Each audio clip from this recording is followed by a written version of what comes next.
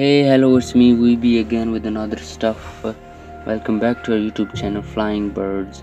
I hope you have been enjoying our latest uploads because they have been really great. Today I'm going to show you how to fix these problem problems that occur in many games and windows.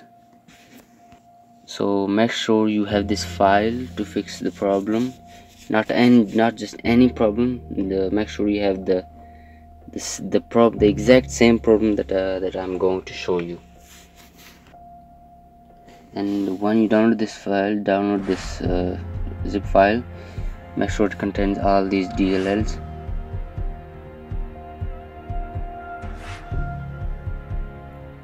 minimize it and go to this PC and uh, you can go you know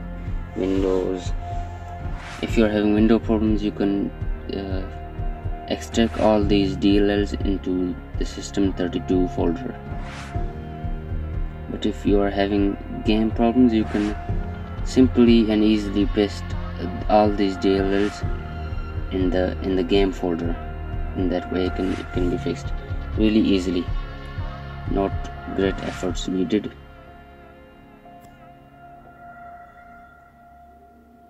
that's it you, you're good to go I think. But if it somehow doesn't work for you uh, leave your problems down below and I will respond.